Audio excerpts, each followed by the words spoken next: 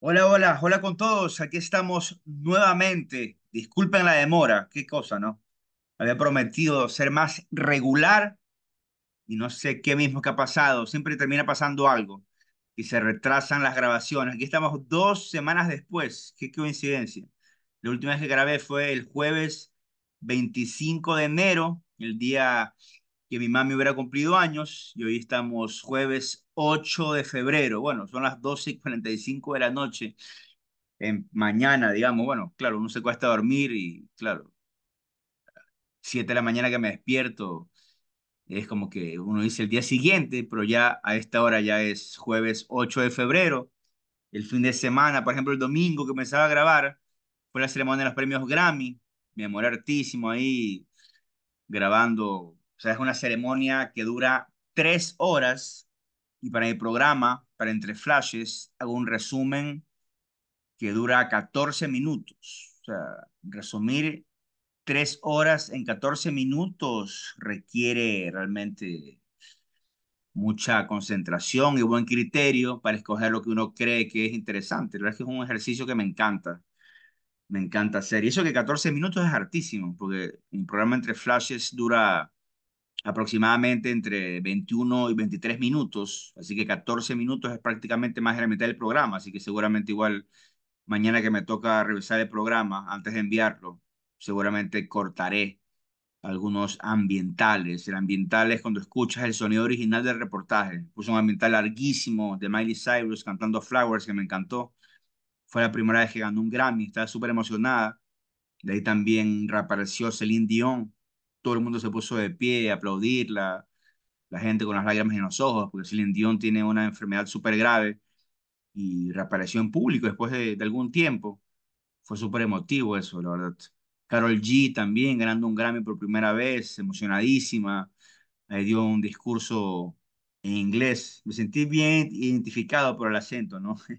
El acento de Carol G súper colombiano, así como cuando hablo yo inglés. Y no lo había contado, ¿cierto? Me olvidé de contarles que en realidad fue chévere ahora que estuve para fin de año donde mi cuñado Charlito en Cooper City tuve la oportunidad de, de conversar en inglés primero con la mamá de mi querida prima Natalie. Ahí hablamos bastante de inglés, una conversación así fluida. Hemos hablado unos 10, 15 minutos. Y también el día de Año Nuevo con, con Fun, un amigo vietnamita de mi cuñado. También hablamos así de largo, de todo, de política, de deporte, de medio ambiente, de, de, de turismo, de todo. Y la verdad es que chévere. O sea, es verdad que no cometo algunos errores, pero me entienden cuando hablo y yo entiendo cuando me hablan. Así que eso es lo importante, ¿no? Establecer una comunicación fluida en, en- en inglés. Lo diría además, bueno, ayer miércoles le di cl- mi primera la- clases de italiano a mi querido primo José Antonio Castro, que está entusiasmado con aprender italiano. Chévere, el que ya no volvió más fue Mauricio Manfredi. No sé qué le habrá pasado a Mauricio, que ya se, olvidó de las clases de italiano. Ojalá vuelva algún momento. Y hoy día me escribió alguien a preguntar si podía darle clases de francés a su hija. Así que yo encantado, me encanta, me encanta realmente enseñar idiomas. Los idiomas que sé, que más sé, que son obviamente italiano y francés.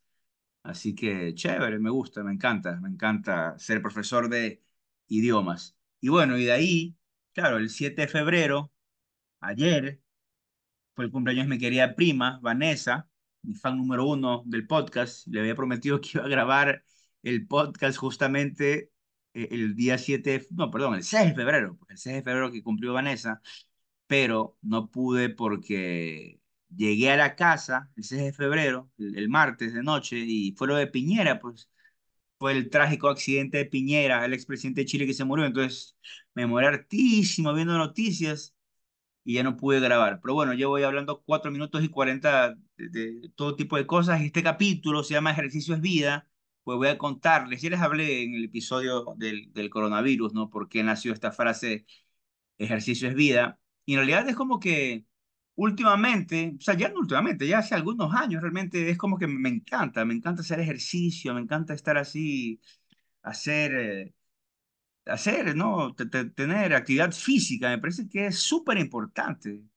Me sorprende que haya gente que lleva una vida sedentaria, que nunca hace ejercicio, que nunca se mueve, que está ahí nomás en un sillón o un mueble viendo televisión, comiendo canguil. O sea, digo, ¿no? Siempre hay tiempo para, siempre hay tiempo para adquirir este, este fantástico hábito de hacer ejercicio.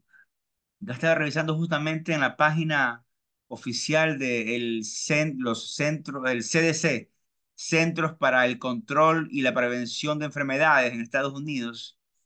Me pareció interesante lo que dice con respecto a la actividad física. Dice, algunos beneficios de la actividad física para la salud cerebral ocurren inmediatamente después de una sesión de actividad física moderada o intensa.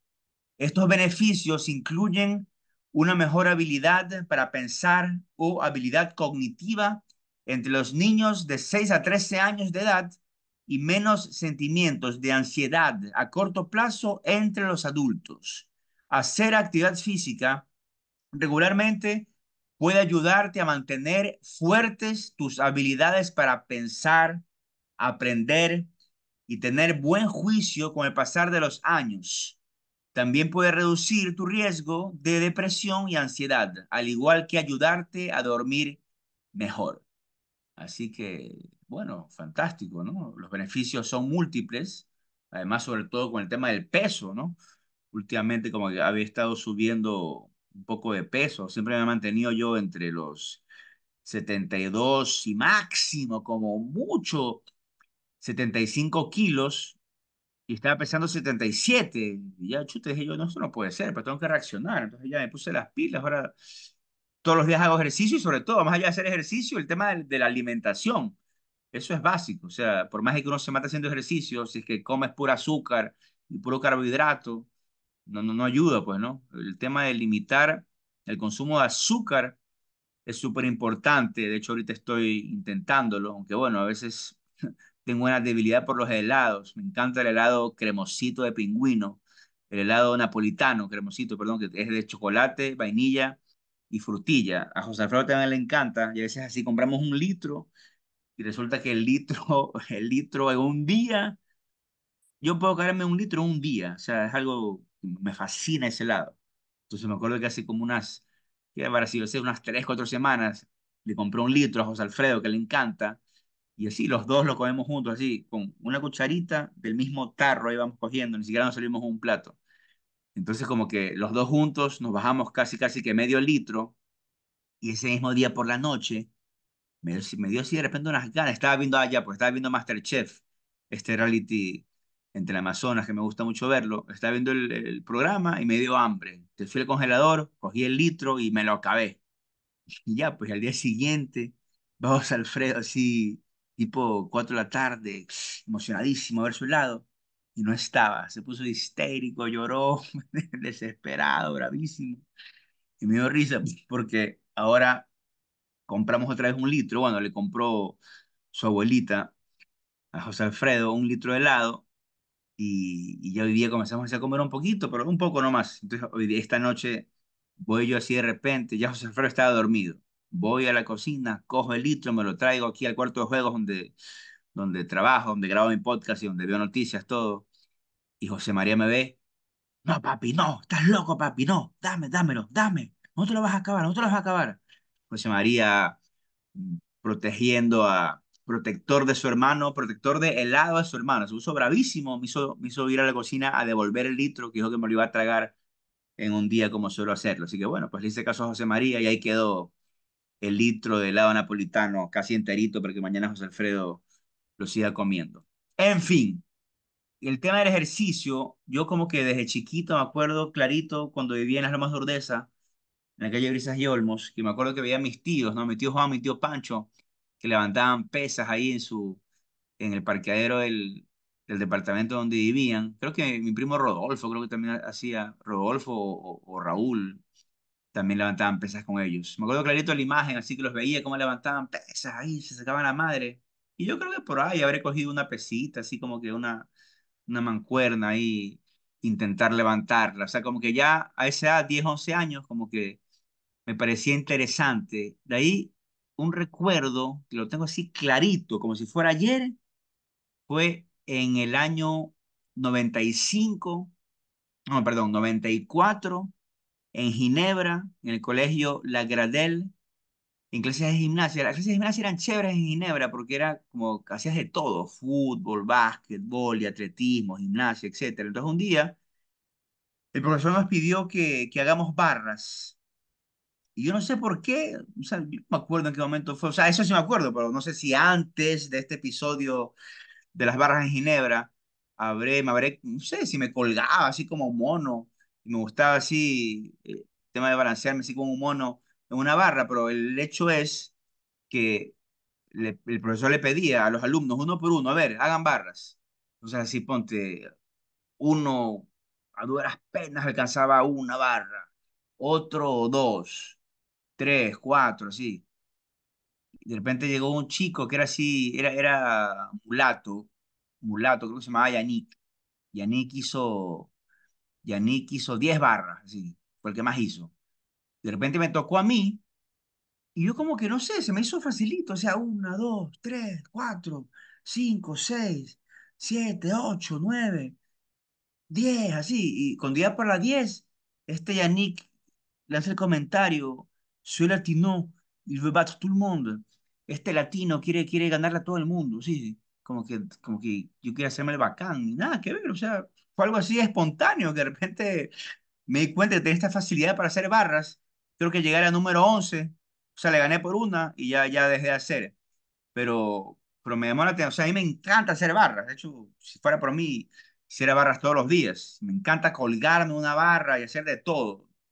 Tocar la barra con los pies, eh, llevar las rodillas a los codos. A veces hago unas maniobras medio peligrosas que se ponen nerviosas y bravas Carla y, Cristina cuando ven los videos en, en Instagram que publico. Porque la plena que sí se ve súper arriesgado, pero yo tengo un agarre súper fuerte. Como ya les expliqué, como enfermedad Charcot-Marie-Tooth no tengo es motricidad fina, pero sí tengo motricidad gruesa. O sea, mi agarre es súper fuerte. O sea, no hay, no hay probabilidad de que se me vaya de repente a, a soltar la mano. O sea, no. En todo momento, el agarre es súper recontra, que es súper fuerte. Así que no hay peligro. En todo caso, el tema de las barras siempre me ha gustado. Siempre me ha gustado desde los 14 años.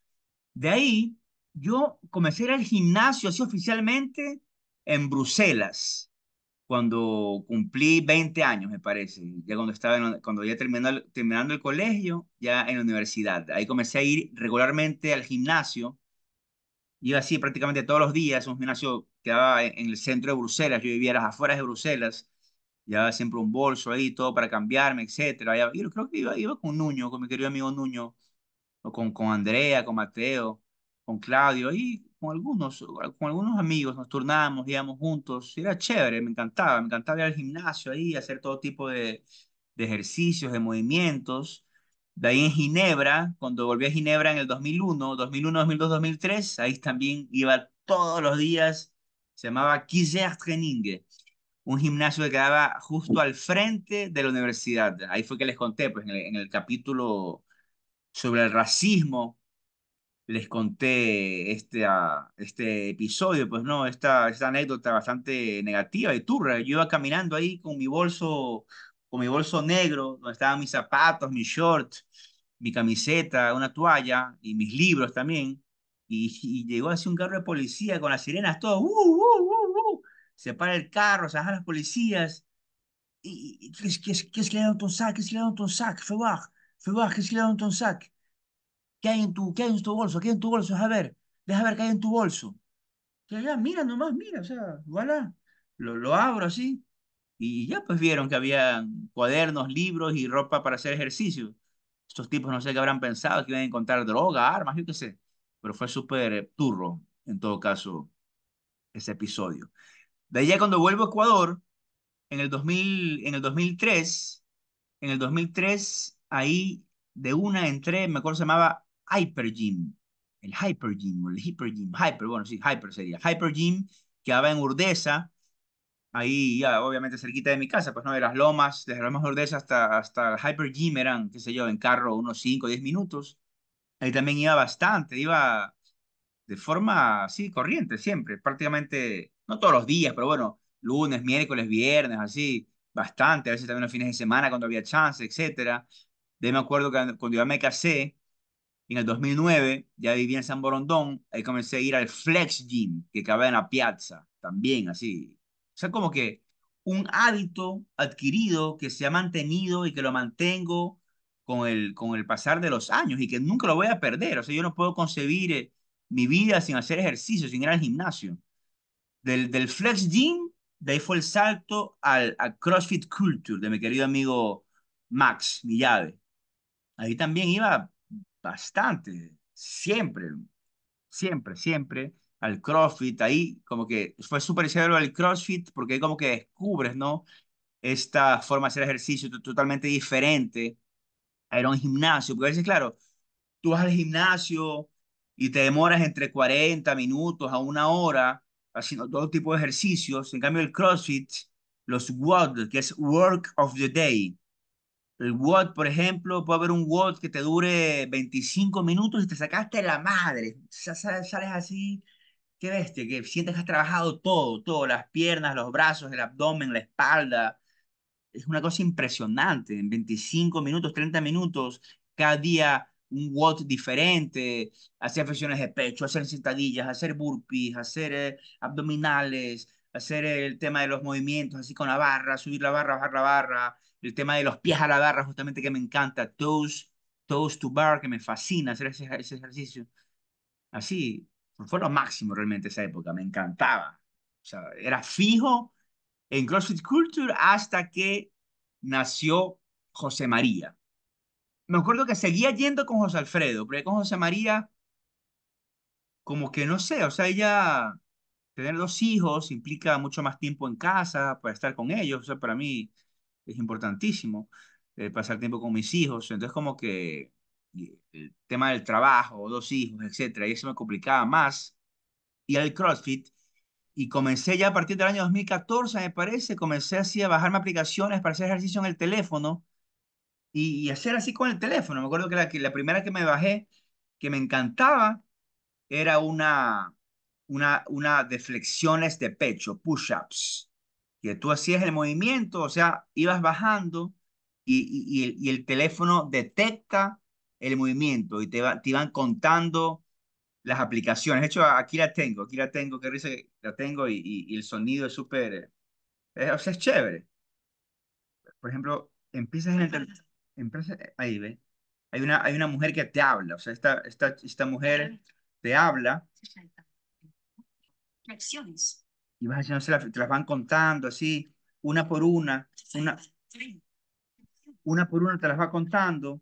Increíble, yo esa época hacía, hacía 100, 100 flexiones de pecho al día, o sea, sin ningún problema. Y mi desafío era hacer 100 flexiones en, en dos minutos, 100 flexiones en, en un minuto y medio, 100 flexiones entre, bueno, entre, entre un minuto y medio y cinco minutos, digamos. Era era el objetivo. Es vacancísima la aplicación. Es de Runtastic. Runtastic, Runtastic le pertenece a Adidas. Entonces, Runtastic tenía aplicación para flexiones de pecho, para squats y para sit-ups, que vienen a ser abdominales, y squats sentadillas. De ahí, he conseguido otra mucho mejor, que es Adidas Training.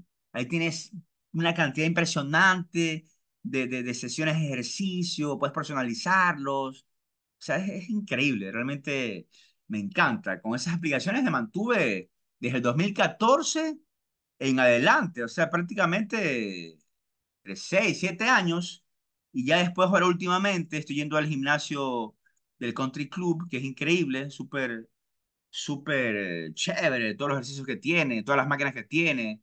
Eh, es súper increíble y, y, se me hace súper cómodo porque dejo a mis hijos en el colegio y después ya voy directamente al gimnasio del country y ya, ya luego ya voy a la casa, todo, y me baño, desayuno, etcétera, ya me voy después a trabajar.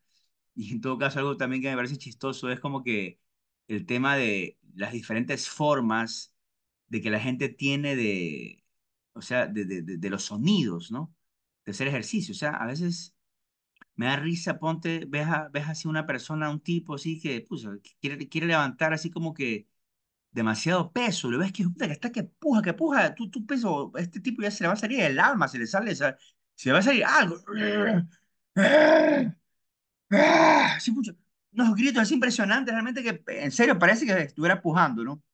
Unos sonidos así impresionantes, ves que la cara tiene toda roja, puta, parece que se le van a reventar las venas. Me muero de risa cuando veo eso. Yo me acuerdo cuando hacía CrossFit con Max, Max se moría de risa porque yo ya llegaba a un punto que no podía más, insultaba, hijo, así, hijo de, hijo de tal, hijo de esto, pu, chu, me ponía a insultar así durísimo. Se moría de risa Max y obviamente la gente, las otras personas que hacían el, el, el WOD, también ahí con este man que está loco. Pero era, mi forma de como que de, qué sé yo, de liberar toda la tensión, el estrés ahí, de darme más ánimo para seguir con la, con, con el WOD, con la rutina hasta el final. Pues claro, a veces ponte, qué sé yo, te pedían hacer... eh, eh, qué sé yo, pues eh, 100 sentadillas, ibas para la sentadilla 95, entonces ya las cinco últimas no podías más. Entonces ya mi, mi forma de, de animarme era insultar, decir malas palabras. Pero claro, la, la verdad es que cada cual tiene, tiene su manera. Obviamente ahorita cuando voy al country no me voy a poner a gritar chu y pu y hijo de pe, ¿no? Ahí me, me aguanto nomás. A veces así como que respiro un poco más, respiro más rápido. Pero bueno, en todo caso, ya es cierto, y algo que como que sí me parece, cuando hago ejercicio en mi casa, siempre con música, pues, ¿no? Con música así, música que te motive. Yo tengo una, una, un playlist en Spotify que se llama justamente, le puse Adidas Training por la aplicación que utilizo cuando hago ejercicio. Voy a contarles ahí las canciones que tengo en este playlist de Adidas Training. Tengo, por ejemplo, de Karate Kid, dos canciones. De Rocky, una, dos, tres, cuatro, cinco, seis. Le tengo The Final Countdown. Le tengo una canción de Top Gun.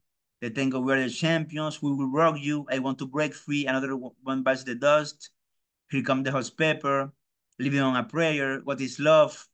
Algunas canciones ahí que, que, que te motivan, que te animan. Obviamente a veces hago con reggae, otras veces con rap, otras veces con merengue, pero la música y el ejercicio van súper bien de la mano, así que ejercicio es vida siempre, mi eslogan, ¿no? Así que ya saben, siempre están a tiempo de dejar de lado, si llevan una vida sedentaria, están a tiempo para, para comenzar a moverse, ¿no? Poco a poco, poco a poco, caminar, andar en bicicleta, trotar, hacer flexiones de pecho, abdominales, sentadillas, barras, lo que sea, pero siempre es importante estar activo.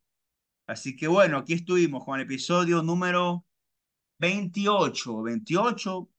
Ojalá, ojalá ya se enrumbe el tema y obtenga la regularidad que había prometido. Para, la próxima semana se viene el feriado de carnaval, nos vamos a Cuenca de jueves hasta, de, perdón, de sábado hasta martes, así que ahí va a ser un poco complicado la grabación, pero de ley ya la próxima semana cuando vuelva el feriado ahí prometido el episodio número 29 que lo quería hacer acerca de las entrevistas, ¿no? Las, todas las entrevistas que he hecho, las entrevistas que van presentándose año tras año. Por ejemplo, ahorita eh, hay, hay, una opción de entrevistarlo a Magic Juan, el que era antes integrante de Proyecto 1. Vamos a ver cuándo se concreta la entrevista y voy a contarles acerca de todas las entrevistas que he hecho, todas las que he hecho, ¿no? Tanto el mundo del cine o de la música o del deporte, etcétera. Así que nos reencontraremos la próxima semana sin falta. Muchas gracias a todos por, la, por escucharme, por los comentarios, por estar pendientes. Así que ya saben, disfruten la vida. La vida es un carnaval. No hay tiempo para llorar, sino para reír. Un abrazo para todos. Au revoir, auf Wiedersehen, arrivederci, goodbye, chao, chao.